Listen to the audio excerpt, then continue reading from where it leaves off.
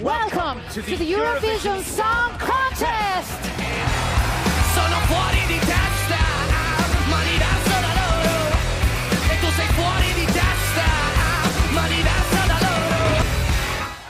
Hello, Hiya, I'm Toy. I'm Goy. My name is Urika. I'm from Belgium and I'm a huge, huge Eurovision fan. Hello, I'm Jude Kennedy, um, YouTube channel Eurovision with Jude Kennedy. I'm Leet. I am the host of a Eurovision channel on YouTube called Eurovision Feels.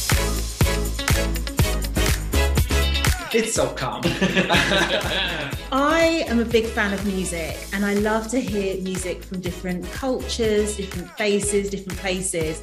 And I just love the idea of lots of different unions and countries coming together um, for one massive celebration of music. It's really, really cool. I love seeing just the mass of like representation from different styles of music, different languages, different just people coming together to show what they can do. And whenever that all comes together into the show, it just is incredible to see the variety of the things that Europe can prove, like we have.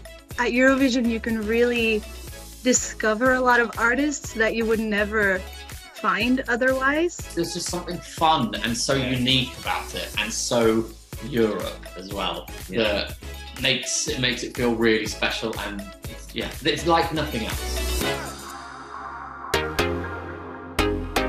So my first Eurovision that I watched was in 2003 and I watched it from pretty much from the beginning right through the end when Sertab Erener won with Every Way That I Can, which is one of my favourite Eurovision songs ever. As a kid, we always watched it, and it was one of those things. You're like, yeah, I enjoy it, but I'm not going to scream and shout about it. And then the older you get, and the more you start to not really care what people think about you, you go, I love this. I was a Eurovision fan in the closet for many years. My first Eurovision memory, I guess, is Nina Sublatti Warrior in the final, where you couldn't see her. But still, that song is one of my favourites to this day. And obviously, Måns winning, like, yes, heroes. I don't want to sound nationalistic, but the UK are actually bringing something quite good this year.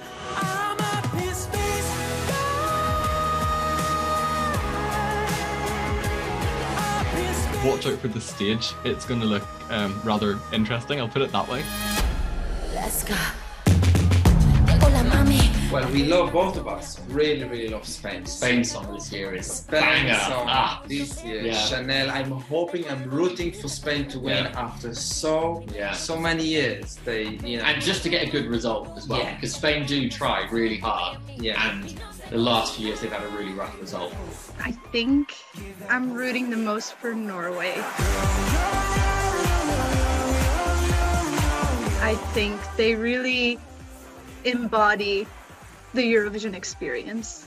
I do think that it's between Sweden and Spain. I think Spain is a hot, hot favourite and Chanel is awesome.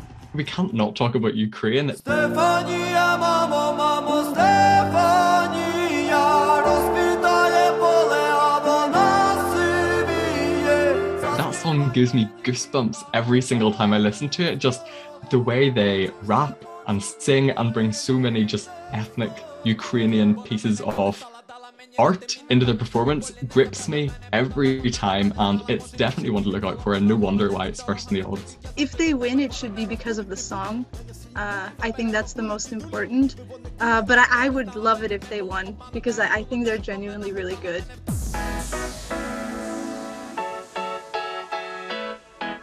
Oh, you have to watch it. You have to watch it. It's just a big party. If if you can, I would just invite your friends and have a party and watch it together. Even though the level of the song sometimes can be a bit, mm, um, it's a fun night. It's fun, and It's there a is fun night. nothing that compares to the Yeah. drama of the results. No. Yeah, as soon as the results start coming in, It's you're sat there like, this is it. This is what it's all about.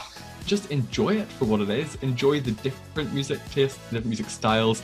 No matter what you like, enjoy the show and just lean into everything that's different and fun and interesting. I would say enjoy it, uh, live in the moment, embrace the wacky, embrace the weird, and just, um, yeah, don't take it too seriously. It's a lot of fun.